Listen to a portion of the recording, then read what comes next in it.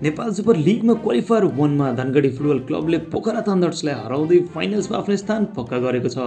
Match एकदमै रोमाञ्चक थियो र एक्स्ट्रा टाइमसम्म दुई दुई गोलको बराबरीमा टुङ्गेको थियो एन्ड पेनाल्टीसम्म पुग्यो जसमा धनगढीले पोखरालाई चार तिन गोल अन्तर्गतले हराएको छ। पोखरा यो म्याच हार्दा पनि फाइनलमा पुग्ने चान्सेस कायमै रहेको छ पोखराको। काठमाडौँ भर्सेस ललितपुरको एलिमेन्टर म्याच आज मङ्गलबार अहिले चलिरहेको छ र जित्ने टिम पुग्छ क्वालिफायर टूमा र भिड्छ पोखरासँग। फाइनलमा पुग्नको लागि फाइनल तिस डिसेम्बर शनिबार पाँच तिसमा दशरथ रङशालामा हुनेछ।